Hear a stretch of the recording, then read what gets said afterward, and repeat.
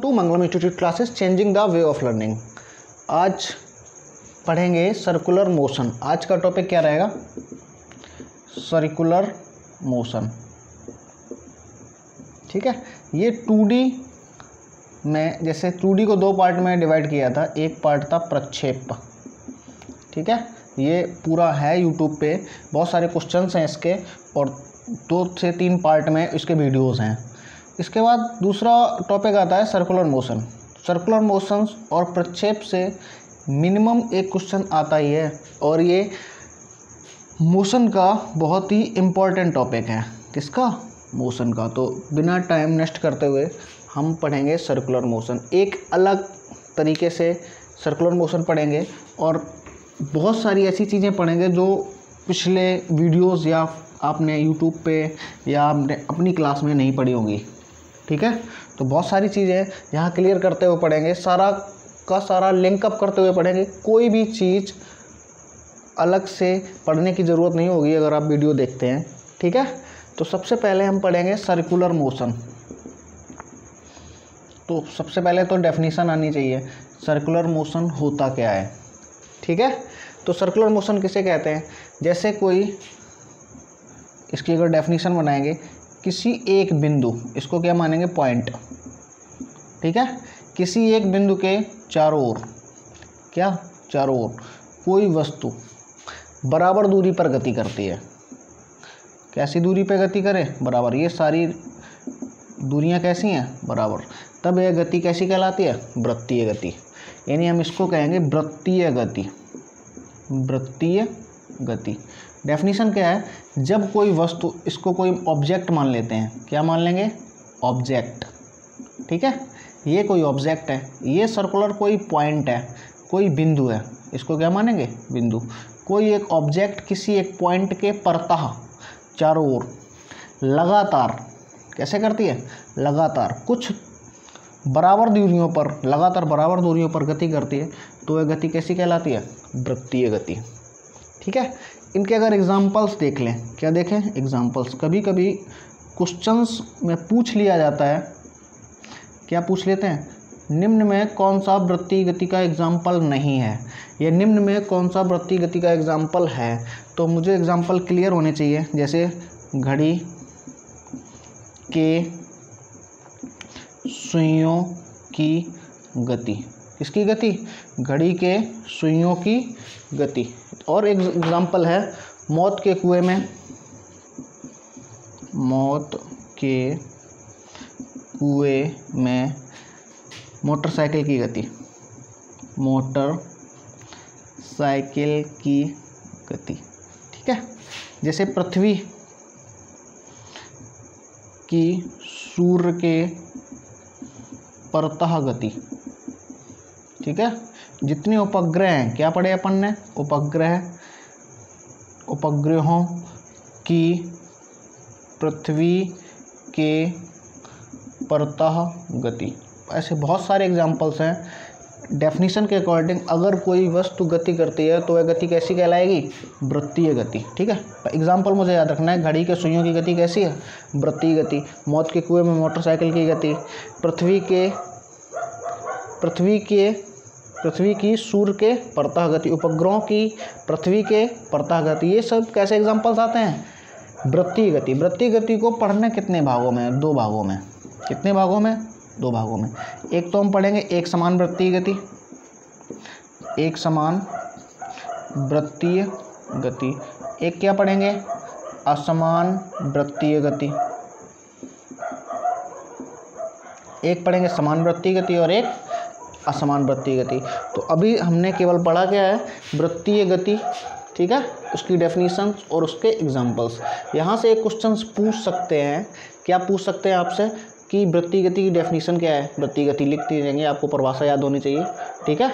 दूसरा वृत्ति गति हम दो टाइप में पढ़ेंगे, एक समान वृत्ति गति और असमान वृत्ति गति। इसे कहेंगे यूनिफॉर्म सर्कुलर मोशन इसे कहेंगे नॉन यूनिफॉर्म क्या कहेंगे? नॉन यूनिफॉर्म सर्कुलर मोशन ठीक है? Uniform circular motion non uniform circular motion circular motion यानी वृत्तीय गति, ठीक है? होगी क्या? एक समान वृत्तीय गति, असमान वृत्तीय गति। प्रत्येक चीज़ को लिंकअप करके पढ़ते जाइए। कहीं भी कोई भी दिक्कत ना आए, ठीक है? इसकी डेफिनेशन हो गई। एग्जाम्पल्स पढ़ लेंगे। अब सबसे पहले यहाँ पे पूछा जाता है, जैसे हम कई चीज़ें पढ़ेंगे। एक होगा वेग, एक होगी चाल। क्या हो? एक वेग होगा, एक क्या होगी? चाल। ठीक है? फिर होगी गतिज ऊर्जा। क्या होगी? गतिज ऊर्जा। सबसे पहली जो मोस्ट इंपॉर्टेंट पार्ट है, यहाँ पर वेग और गतिज ऊर्जा। कौन कौन सी चीज़ें? वेग और गतिज ऊर्जा। ये एक क्या है? चाल। तो हमें समझ के पढ़ना है। वेग, चाल और गतिज ऊर्जा। इनमें चाल और गतिज ऊर्जा कैसे रहते हैं? अपरिवर्तित। कैसे रहते हैं? नॉन चेंजेबल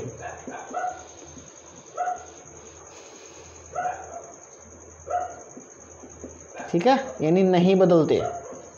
क्या लिखेंगे? नहीं बदलते। अर्थात कैसे होते हैं? कांस्टेंट कैसे होते हैं? कांस्टेंट यानी वेग, चाल और गतिज ऊर्जा में मुझे दो बातें याद रखती हैं। कौन सी वाली? चाल और गतिज ऊर्जा। चाल और गतिज ऊर्जा कैसी होती है? नॉन चेंजेबल नॉन चेंजेबल का मतलब क्या हुआ? ये बदलते नहीं हैं। और इनकी गति कैसी होती है? कांस्टेंट अच्छा ये अब हम पढ़ क्या रहे हैं? सबसे पहले क्या पढ़ेंगे? एक समान वृत्तीय गति। क्या पढ़ेंगे? एक समान वृत्तीय गति।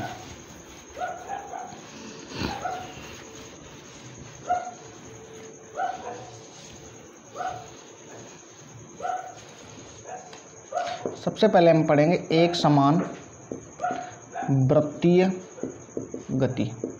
ठीक है? पढ़ेंगे यूनिफॉर्म सर्कुलर मोशन क्या पढ़ेंगे? यूनिफॉर्म सर्कुलर मोशन इसको पढ़ते समय देखो, यह है कोई वस्तु, ये रहा वृत्त का केंद्र, ये रहा कोई पार्टिकल ठीक है? किसी टाइम किसी समय। इसका वेग कितना मान लिया? वे कितना है? वी ठीक है?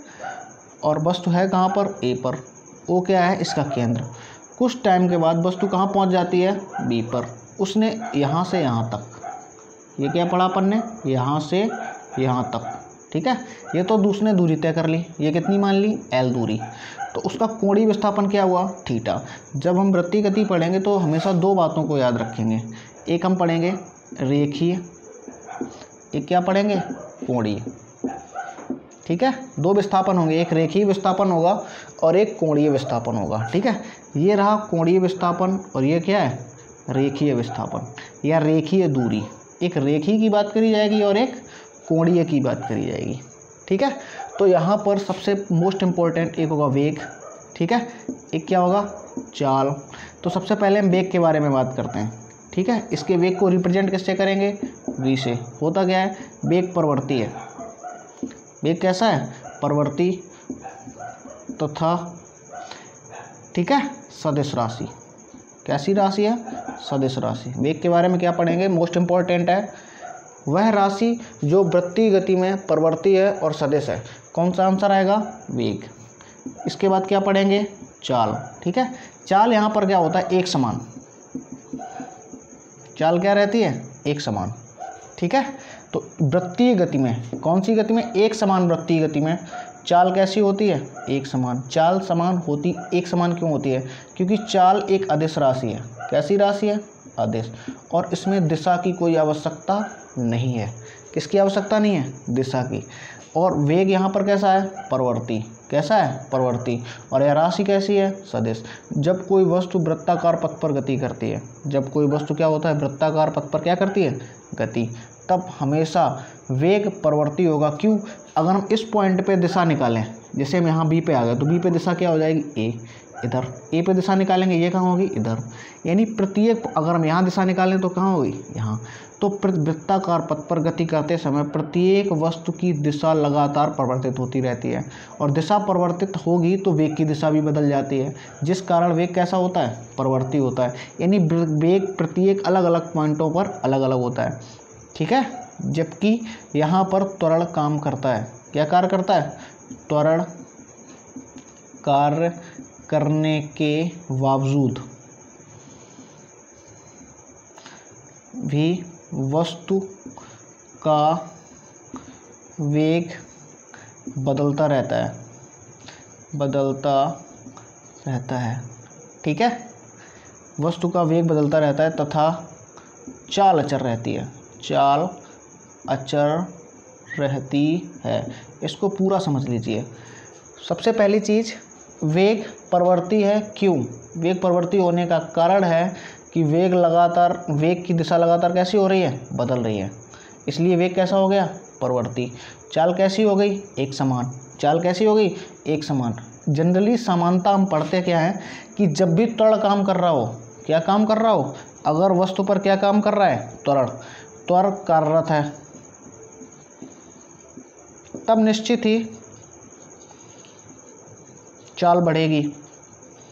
क्योंकि त्वरण अगर बढ़ेगा एक्सीटर लेंगे तो चाल बढ़ेगी, लेकिन त्वरण बढ़ने के कारण भी यहाँ पर चाल नहीं बढ़ती। क्यों? क्यों? त्वरण बढ़ने के कारण भी चाल नहीं बढ़ती, ये बात गलत हो जाती है यहाँ पर। क्यों नहीं बढ़ती? क्योंकि त्वरण वस्तु की दिशा परिवर्तन में, दिशा परिवर्तन में नष्ट हो जाता है, नष्ट हो जाता है। ठीक है? तो यहाँ से तीन से चार बातें निकल कर आती हैं। कौन कौन सी वाली? सबसे पहले कि वेग वेग कैसा रहता है? परवर्ती चाल कैसी होती? है एक समान। वस्तु में त्वरण कार्य कर रहा है, फिर भी यहाँ पर चाल एक समान है। इसका रीज़न यह है कि जब भी वस्तु पर त्वरण कार्य करता है, चाल एक समान। अगर हम यहाँ पर हैं, ठीक है? तो एक एक बिंदु से दूसरे बिंदु पर जाने में प्रत्येक बार दिशा बदल रही है, ठीक है? और हम एक छोटे से छोटे से पॉइंट पे भी अगर जाएँगे तो इसकी दिशा बदल जाएगी। इससे होगा क्या? इससे क्या होगा कि कि वस्तु की जब दिशा बदलेगी, क्या बदलेगी? दिशा बदलेगी। तो दिशा बदलने का कार्य कौन करेगा? त्वरण। तो त्वरण का क्या कार्य होता है? दिशा परिवर्तन। यही कारण है कि यहाँ पर चाल नहीं बढ़ती और चाल कैसी रहती है? हमेशा एक समान। तो यहाँ से तीन, दो चीज़ें निकल के आई। याद रखना है, वेग कैसा है? परिवर्ती है। चाल कैसी है? एक समान। त्वरण कार्य करने के बावजूद भी चाल नहीं बढ़ती। क्यों नहीं बढ़ती?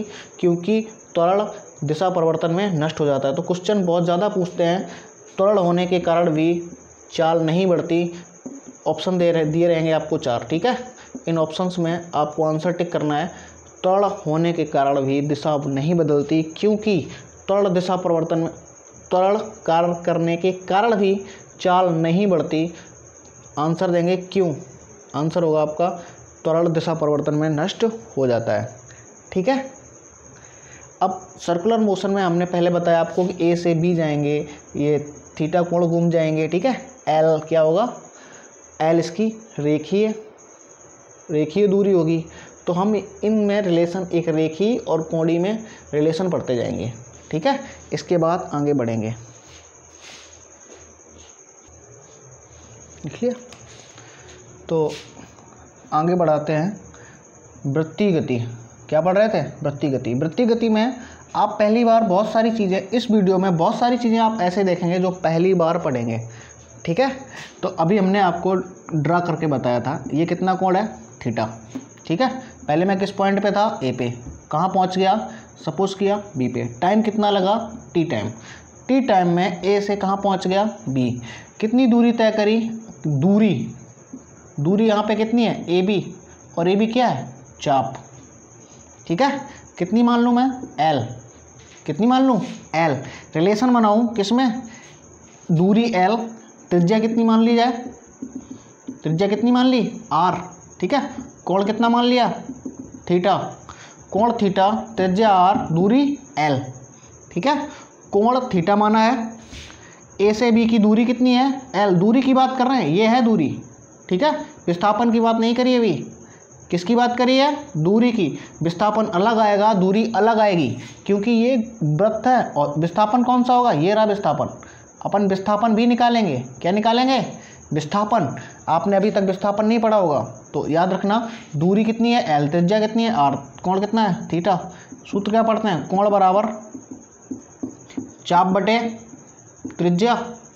कोण कितना होता है? थीटा चाप, ये रहा चाप। ए बी चाप की लंबाई कितनी है? एल त्रिज्या कितनी है? आर एल बराबर क्या आएगा?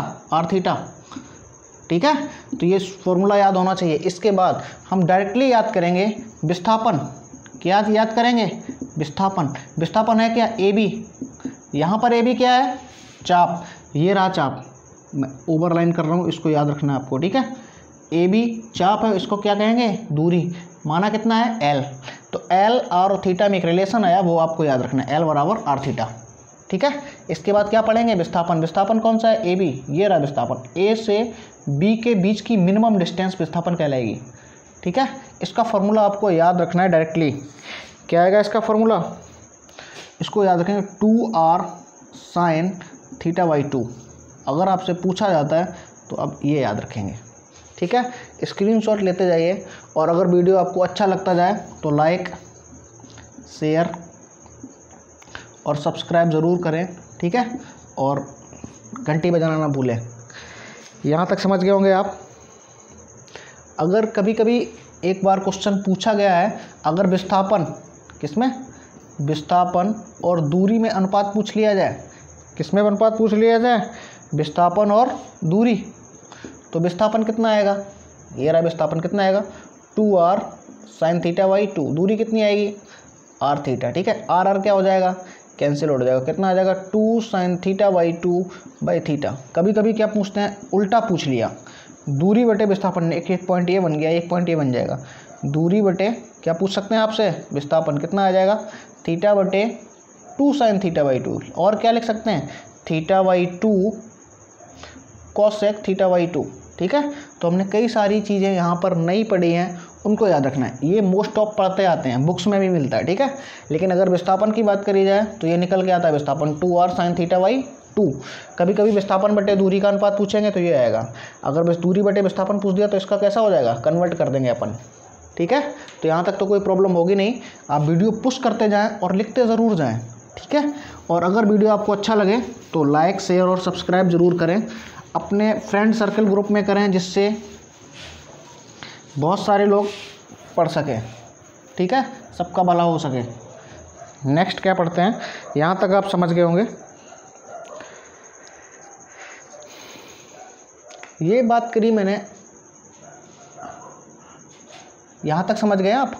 अगर इसी टॉपिक में कोड़ी विस्थापन की बात करूँ, किसकी बात करूँ? कोड़ी विस्थापन की।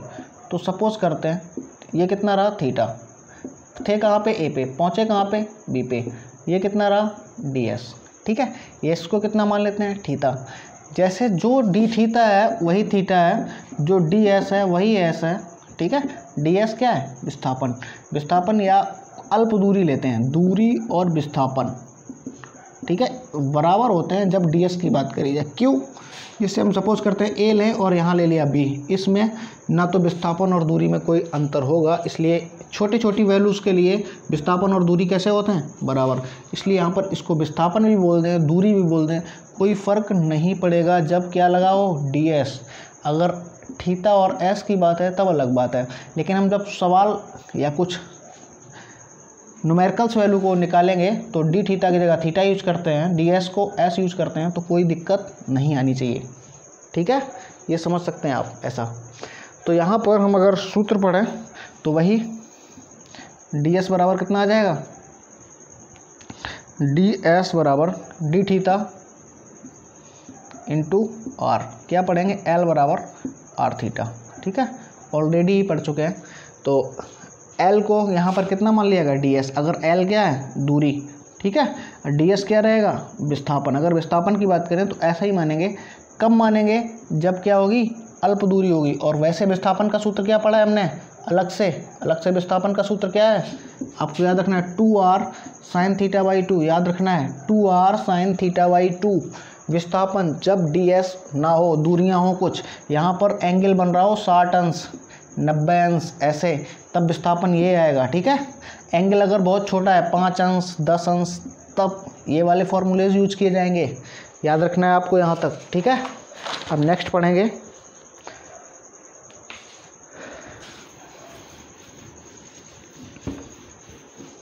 वृत्ति गति मोस्ट इंपॉर्टेंट टॉपिक है डिफेंस एग्ज़ाम्स के लिए, ठीक है? अगर हम पढ़ते जाएँ कोणी वेग, अगर रेखीय वेग पढ़ेंगे, क्या पढ़ेंगे? रेखीय वेग v बराबर। ठीक है?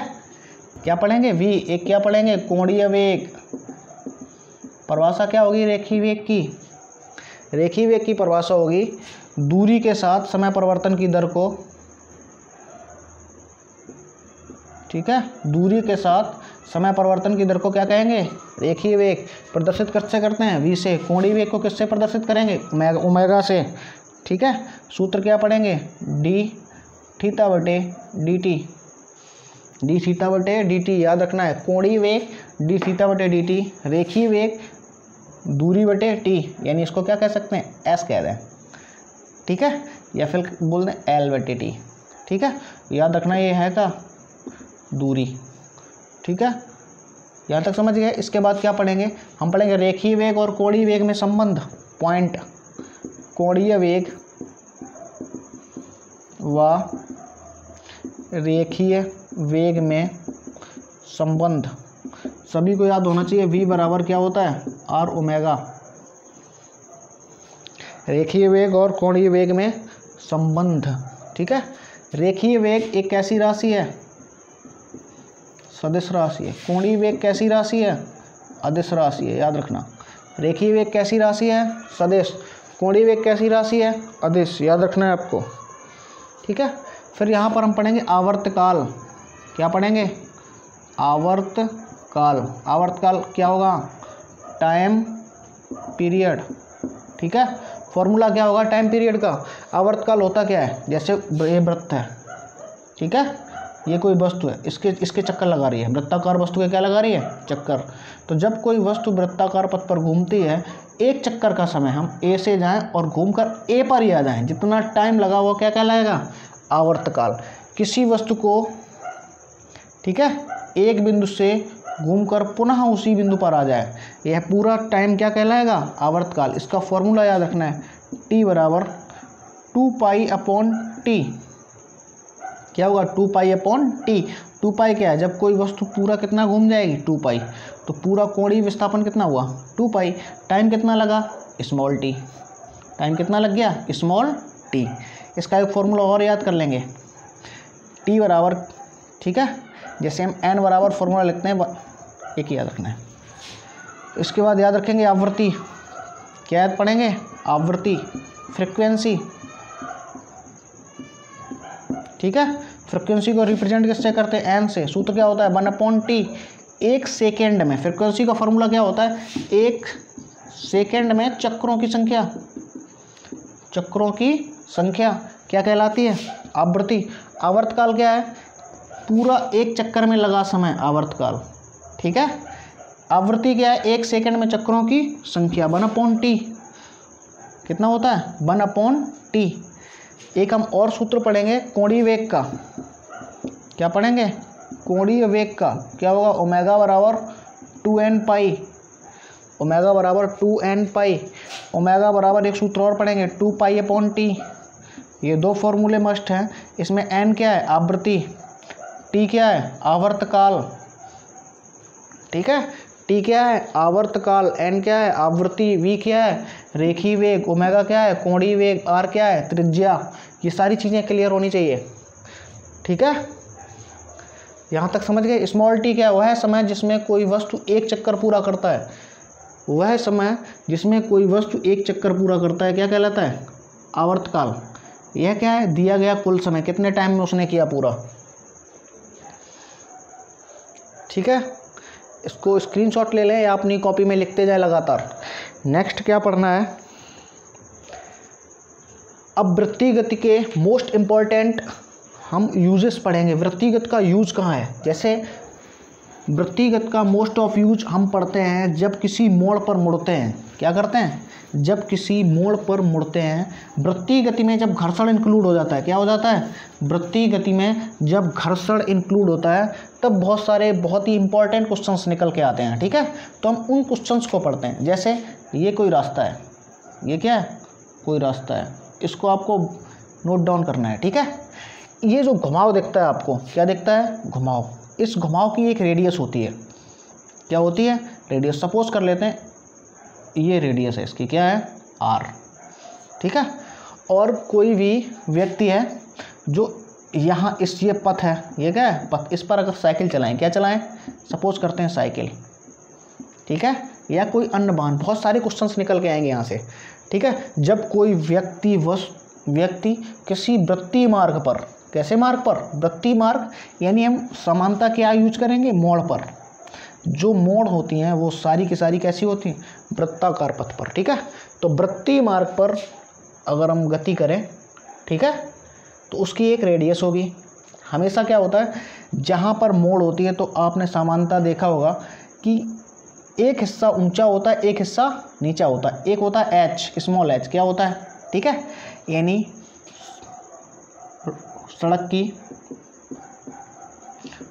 दोनों तरफों के बीच की ऊंचाई का अंतर, ऊंचाई का अंतर। क्या देखे होंगे आप कि एक तरफ़ सड़क नीची है और एक तरफ़ ऊँची है। इससे क्या मिलता है? पर्याप्त घर्षण बल क्या मिलता है इससे? पर्याप्त घर्षण बल इससे क्या मिल जाता है अपन को? पर्याप्त घर्षण बल तो सड़क को हम आसानी से मुड़ जाएँ। क्या मुड़ जाएँ? आसानी से मुड़ जाएँ। इसलिए यहाँ पर एक बल कार्य करेगा। क्या कार्य करेगा? अभिकेंद्र बल। और इस अवकेंद्र बल से ही हमें क्या मिलेगा? घर्षण बल यहाँ से कई सारी चीज़ें निकल के आती हैं। जब कोई वस्तु वृत्ताकार पथ पर गति करती है, मुड़ती है, क्या होती है? मुड़ती है। तो मोड़ पर मुड़ने के लिए हम सड़क को क्या देखेंगे? एच इसका भी कुछ ना कुछ इफ़ेक्ट पड़ता है। ठीक है? और इससे क्या इफ़ेक्ट पड़ता है? पर्याप्त घर्षण बल आसानी से मिल जाता है। और घर्षण बल प्राप्त कहाँ होता है? अब केंद्र बल से। अब केंद्र बल का सूत्र क्या होता है? एफ़ बराबर एम वी स्क्वायर बटे आर एक और फॉर्मूला इसका पढ़ेंगे। एम आर ओमेगा स्क्वायर ठीक है? एम आर ओमेगा स्क्वायर एक क्या होगा एम बी स्क्वायर बटे आर ठीक है? तो वृत्ताकार पथ पर गति करने के लिए, ठीक है? हमने क्या बताया? पर्याप्त घर्षण बल। जब किसी वस्तु कोई वस्तु या कोई साइकिल, कोई वाहन किसी मोड़ पर आसानी से मुड़ती है तो उसमें दो चीज़ों में संबंध होता है। एक घर्षण बल में। किसमें होता है? घर्षण बल, ठीक है? इसको क्या कहते हैं? Mu m g. क्या बोलते हैं? म्यू एम जी या म्यू आर। आर बराबर क्या होता है? M ji. आर बराबर क्या होता है? M g. इसीलिए क्वेश्चन क्या बन जाता है? Mu m g. तो हमें इससे मतलब है, ठीक है? अब अवकेंद्र बल और घर्षण बल के बीच में संबंध है। क्या है? अब केंद्र बल और घर्षण बल के बीच में संबंध क्या होता है? जिससे हमें पर्याप्त घर्षण बल मिलता है। जब तक घर